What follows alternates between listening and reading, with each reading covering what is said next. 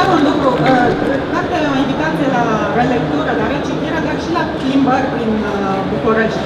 Uh, cu stiloul, dar și cu bastonul prin București, nu? Știu eu, cititorii... Mă nu cu bastonul, cu trotineta, cu trotineta. Um, fanii Virginia Woolf se plimbă prin Londra căutând urbele faimoase din matinale a Clarice Dalloway, Admiratorii lui Joyce se plimbă prin Dublin în fiecare zi de 16 iunie pe urmele lui Leopold Bloom.